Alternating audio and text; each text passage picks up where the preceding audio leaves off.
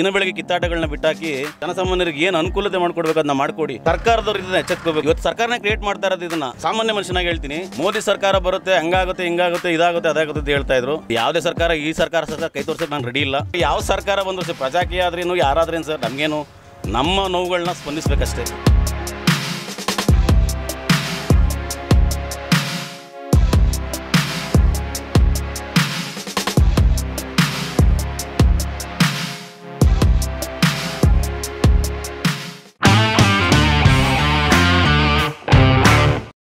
ಇವತ್ತಿಂದು ಪರಿಸ್ಥಿತಿನಲ್ಲಿ auto ಜೀವನ ಯಾವ ನಾಯಿಗೂ ಬೇಡ. ನಾಯಿ ಅಟ್ಲೀಸ್ಟ್ ನಾಯಿಯರು ಮನೆ ಬಾಗಿಲಿಗೆ ಹೋದರೆ ಅನ್ನನಾರು ಹಾಕ್ತಾರೆ.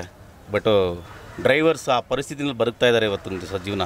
ಯಾಕೆಂದರೆ ಇವತ್ತು ಗ್ಯಾಸನ್ನು ಐವತ್ತೆಂಟು ರೂಪಾಯಿ ಮಾಡಿಟ್ಟಿದ್ದಾರೆ ಇಪ್ಪತ್ತೈದು ರೂಪಾಯಿ ಮಿನಿಮಮ್ ಹೊಡ್ಕೊಂಡು ಐವತ್ತೆಂಟು ರೂಪಾಯಿ ಗ್ಯಾಸ್ ಹಾಕ್ಕೊಂಡು ಇವತ್ತು ಆಗ್ತಾ ಇರೋ ಪರಿಸ್ಥಿತಿನಲ್ಲಿ ಈ ಲಾಕ್ಡೌನ್ ಆಗಲಾಗಿ ಪ್ರತಿಯೊಬ್ಬ ಮನುಷ್ಯನ ಸಮೇತ ಸ್ವಂತ ಗಾಡಿಲಿ ಓಡಾಡೋಕ್ಕೆ ಇಷ್ಟಪಡ್ತಾರೆ.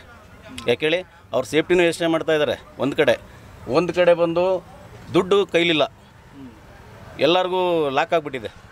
ಪ್ರತಿಯೊಂದು ಪ್ರತಿಯೊಂದು ಜಾಸ್ತಿ ಇದೆ. ಯಾಕೆಂದರೆ ನಾವು ಜನಗಳ ಮೇಲೆ ನಾವು ಇದು ಮಾಡೋಕ್ಕಾಗಲ್ಲ. ಸರ್ಕಾರದವ್ರು ಇದನ್ನ ಎಚ್ಚೆತ್ಕೋಬೇಕು. ಯಾಕೆ ಅಂತಂದರೆ ಪ್ರತಿಯೊಂದು ಒಂದು ಏನು ದಿನಬಳಕೆ ವಸ್ತುಗಳಾಗಿರ್ಬೋದು ಅಥವಾ ಆಟೋ ಡ್ರೈವರ್ಸ್ಗಳದ್ದು ಜೀವನದ ಪರಿಸ್ಥಿತಿಗಳು ಯಾವ ಥರ ಇದರಿಂದ ಆ ಏರುಪೇರುಗಳನ್ನ ಇವರು ಜವಾಬ್ದಾರಿ ತೊಗೊಂಡು ಅದನ್ನು ಯಾವ ಥರ ಮಾಡಬೇಕು, ಆ ಥರ ಮಾಡಿಕೊಂಡು ನಮ್ಗೆ ಅನುಕೂಲತೆ ಮಾಡಿಕೊಡ್ಬೇಕು ಹೊರತು ನಾವು ಪಬ್ಲಿಕ್ ಮೇಲೆ ಹಾಕೋಕ್ಕಾಗಲ್ಲ. ಹೇಳ್ತಾರೆ ಡ್ರೈವರ್ಸ್ಗಳು ಅಲ್ಲಿ ಇಲ್ಲಿ ಅಷ್ಟು ಕೇಳ್ತಾರೆ, ಇಷ್ಟು ಕೇಳ್ತಾರೆ ಅಂತಂದರೆ, ಈ ಥರ ಸರ್ಕಾರದವರು ಐವತ್ತೆರಡು ರೂಪಾಯಿ ಗ್ಯಾಸ್ ಮಾಡಿಟ್ಟನಾಗ ಅವ್ನು ಇಲ್ಲಿಂದ ಹೋದ್ರೆ ಒಂದು ಹತ್ತು ಕಿಲೋಮೀಟ್ರ್ ಹೋದರೆ ಐದು ಕಿಲೋಮೀಟ್ರ್ ಖಾಲಿ ಬಂದರೆ ಇನ್ನೇನು ಉಳಿತದೆ ಅವನಿಗೆ?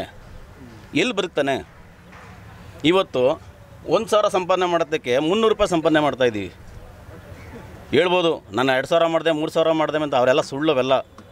ತಲೆ ಹೊಡಿಬೇಕಷ್ಟೇ. ಇಲ್ಲ, ತಲೆ ಹಿಡಿಬೇಕಷ್ಟೇ. ಇವೆರಡೇ ಜೀವನ. ಯಾಕೆಂದರೆ ಸುಮ್ಮನೆ ಈಗ ಈ ಥರ ಮಾಡೋದ್ರಿಂದ ಎಚ್ಚೆತ್ಕೊಂಡ್ರೆ ತುಂಬ ಆಟೋ ಡ್ರೈವರ್ಗಳಿಗೆ ಅನುಕೂಲ ಆಗುತ್ತೆ. ಇಲ್ಲ ಅಂತಂದ್ರೆ ಏನಾಗುತ್ತೆ ಅಂದರೆ ರ್ಯಾಬ್ರಿಗಳು ಸ್ಟಾರ್ಟ್ ಆಗ್ತವೆ. ಆಟೋಮೆಟಿಕ್ ರ್ಯಾಬ್ರಿಗಳು ಸ್ಟಾರ್ಟ್ ಆಗ್ತವೆ. ಯಾಕೆಂತಂದರೆ ಅವನ ಪರಿಸ್ಥಿತಿ ದಿನ ಬೆಳಗ್ಗೆ ಬಳಕೆ ಇರುತ್ತೆ. ಅವ್ನು ದಿನ ಹೆಂಡತಿ ಮಕ್ಕಳಿಗೆ ಸಾಕಬೇಕು, ಜೀವನ ನೋಡಬೇಕು, ಅಥವಾ ತಂದೆ ತಾಯಿ ನೋಡಬೇಕು, ಇಲ್ಲ ತೊಗೊಂಡ್ರಂಥ ಫೈನಾನ್ಸ್ಗಳು ಕಟ್ಟಬೇಕು ಫೈನಾನ್ಸ್ಗಳ್ದು ಹಿಂಸೆ. ಒಂದು ದಿವಸ ಕೊಟ್ಟಿಲ್ಲ ಅಂತಂದರೆ ಬಾಯಿ ಬಂದಂಥ ಮಾತುಗಳು ಮಾತಾಡ್ತಾರೆ. ಅದಕ್ಕೆ ಬಡ್ಡಿ ಪೆನಾಲ್ಟಿಗಳಾಗ್ತಾರೆ ಇವೆಲ್ಲ ಸಾಧನೆ ಇವೆಲ್ಲ ತೀರಿಸ್ಕೋಬೇಕು ಅಂತಂದ್ರೆ ಅವನಿಗೆ ಅಲ್ಲಿ ಆಟೋದಲ್ಲಿ ದುಡಿಮೆದಲ್ಲಿ ಬೆನಿಫಿಟ್ ಸಿಕ್ಕಿರ್ತಾನೆ ಅವ್ನು ಬದುಕೋಕ್ಕಾಗೋದು. ಇಲ್ಲ ಅಂತಂದ್ರೆ ರ್ಯಾಬ್ರಿ ಮಾಡೋಕ್ಕೆ ಇಳಿಲ್ಲ ಇಳಿಲೇಬೇಕು, ಆ ಪರಿಸ್ಥಿತಿ ಬಂದ್ಬಿಡುತ್ತೆ. ಆ ಒಂದು ರ್ಯಾಬ್ರಿ ಪ, ಮಾಡುವಂಥ ಪರಿಸ್ಥಿತಿನ ಸರ್ಕಾರನೇ ಕ್ರಿಯೇಟ್ ಮಾಡ್ತಾವ್ರೆ. ಇವತ್ತು ಸರ್ಕಾರನೇ ಕ್ರಿಯೇಟ್ ಮಾಡ್ತಾ ಇರೋದು ಇದನ್ನು. ಯಾಕೆಂದರೆ ದಿನಬಳಕೆ ವಸ್ತುಗಳು ಡ್ರೈವರು ಯಾವ, ನಮ್ಮ ಆಟೋ ಡ್ರೈವರ್ ಅಂತಲ್ಲ ಡ್ರೈವರ್ಸ್ ಅಂದಮೇಲೆ ಎಲ್ಲರೂ ಅನ್ವಯಿಸ್ತೀವಿ ನಾವು. ಎಲ್ಲರಿಗೂ ಏನು ಕೊಡಬೇಕು ಆ ಫೆಸಿಲಿಟಿನ ಮಾಡಿಕೊಡ್ಬೇಕು ಸರ್ಕಾರದವರು. ದಯವಿಟ್ಟು ಇದನ್ನು ನಮ್ಮ ನಮ್ಮ ಡ್ರೈವರ್ಸ್ ಗ್ರೂಪಿಂದ ಕೇಳ್ಕೊತಾ ಇದ್ದೀನಿ. ಕಳಕಳಿಗೆಯಿಂದ ಬೇಡ್ಕೊತಾ ಇದ್ದೀವಿ. ದಯವಿಟ್ಟು ಇದನ್ನು ಏನು ಒಂದು ಗ್ಯಾಸ್ ರೇಟ್ ಆಗಿರ್ಬೋದು ಪ್ಯಾಟ್ರ ಪೆಟ್ರೋಲ್ ರೇಟ್ ಆಗಿರ್ಬೋದು ಅಥವಾ ಅವ್ರ ದಿನಬಳಕೆ ವಸ್ತುಗಳ ರೇಟ್ ಆಗಿರ್ಬೋದು, ಸಾಮಾನ್ಯ ಜನಸಾಮಾನ್ಯರಿಗೆ ಏನು ಅನುಕೂಲತೆ ಮಾಡಿಕೊಡ್ಬೇಕು ಅದನ್ನ ಮಾಡಿಕೊಡಿ. ಮೊದಲು ನಿಮ್ಮ ದಿನ ಬೆಳಗ್ಗೆ ಕಿತ್ತಾಟಗಳನ್ನ ಬಿಟ್ಟಾಕಿ ಆ ಸರ್ಕಾರ, ಈ ಸರ್ಕಾರನ ಪ್ರಶ್ನೆ ಬೇಡ ಇಲ್ಲಿ. ಪ್ರತಿಯೊಬ್ಬರು ನಮ್ಗೆ ಸರ್ಕಾರದವ್ರು ನಾವು ಎಲ್ಲರಿಗೂ ಹಾಕೋವಂಥ ಹಕ್ಕು ನಮಗಿದೆ, ಯಾರಿಗೆ ಬೇಕಾದ್ರೆ ಚಾಯ್ಸ್ ಮಾಡೋ ಹಕ್ಕು ನಮಗಿದೆ. ಆ ಚಾಯ್ಸನ್ನು ನಾವು ಪಡ್ಕೊಳ್ಳಿಕ್ಕೆ ಇಷ್ಟಪಡ್ತೀವಿ, ಬಟ್ ಅದನ್ನು ಉಳಿಸ್ಕೊಳ್ಬೇಕಂತಂದರೆ ನೀವು ಜನಬಳಕೆ ದಿನಗಳಿಕೆಯಾಗಿ ಜನಗಳಿಗೆ ಏನು ಕೊಡಬೇಕು ವ್ಯವಸ್ಥೆ ಕೊಟ್ಟು ನಿಜವಾಗಲೂ ಒಂದು ಮಾನವೀಯತೆಯಿಂದ ಬೆಳೀರಿ ನೀವು. ಒಬ್ಬ ಸಾಮಾನ್ಯ ಮನುಷ್ಯನಾಗಿ ಹೇಳ್ತೀನಿ, ಮೋದಿ ಸರ್ಕಾರ ಬರುತ್ತೆ, ಹಂಗಾಗುತ್ತೆ, ಹಿಂಗಾಗುತ್ತೆ, ಇದಾಗುತ್ತೆ, ಅದಾಗುತ್ತೆ ಅಂತ ಹೇಳ್ತಾ ಇದ್ರು. ಬಟ್ ಯಾವುದಾಗಿದೆ, ಏನಾಗಿದೆ ನಮ್ಮ ಡ್ರೈವರ್ಸ್ಗಂತೂ ಯಾವುದೂ ಹೆಲ್ಪ್ ಆಗಿಲ್ಲ. ಇನ್ನೂ ದಿನ ಬೆಳಗ್ಗೆ ಕಣ್ಣಲ್ಲಿ ನೀರು ಹೊರತು ಯಾವುದೇ ಥರದ ನಿಜ ಜೀವನ ಅನುಭವಿಸುವಂಥ ಸುಖ ಸಿಗ್ತಾಯಿಲ್ಲ ನಮಗೆ. ಬಟ್ ಯಾವುದೇ ಸರ್ಕಾರ, ಈ ಸರ್ಕಾರ ಸರ್ಕಾರ ಕೈ ತೋರ್ಸೋಕೆ ನಾನು ರೆಡಿ ಇಲ್ಲ. ನಾವು ಹೇಳೋದಿಷ್ಟೇ, ಯಾವ ಸರ್ಕಾರ ಬಂದರೂ ಅಷ್ಟೇ ಹೇಳೋದು.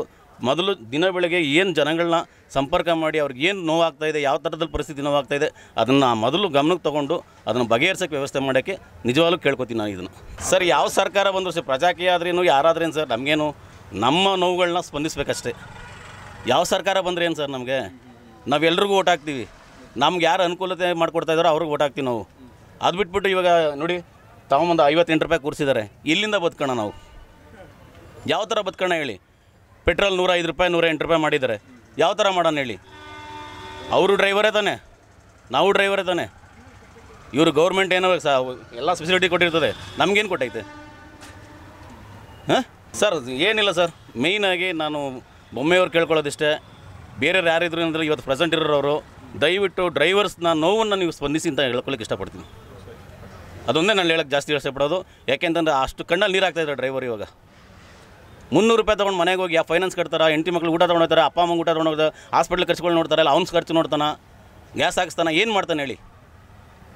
ದಯವಿಟ್ಟು ಬೊಮ್ಮೆಯವ್ರಿಗೆ ಕೈ ಮುಗಿದು ಕೇಳ್ಕೊತೀನಿ. ಇದನ್ನು ಸ್ಪಂದಿಸಿ ಮೊದಲು ಡ್ರೈವರ್ಸ್ಗಳ ಬಗ್ಗೆ ಸಮಸ್ಯೆಗಳನ್ನ ಬಗೆಹರಿಸೋಕೆ ಹೇಳಿ. ಅಷ್ಟೇ ನಾನು ಕೇಳ್ಕೊಳಕ್ಕೆ ಇಷ್ಟಪಡ್ತೀನಿ. ದೀರ್ಘಕಾಲ ಅನೇಕ ರೋಗಗಳಿಂದ ಬೇಸತ್ತಿದ್ದವರಿಗೆ ಒಂದು ಗುಡ್ ನ್ಯೂಸ್ ರೋಗ ನಿರೋಧಕ ಶಕ್ತಿ ಹೆಚ್ಚಿಸಲು ಒಂಬತ್ತು ಸಿರಿಧಾನ್ಯಗಳು ಸೇರಿ ಇಪ್ಪತ್ನಾಲ್ಕು ಧಾನ್ಯಗಳಿಂದ ತಯಾರಾಗಿದೆ ಜೀನಿ.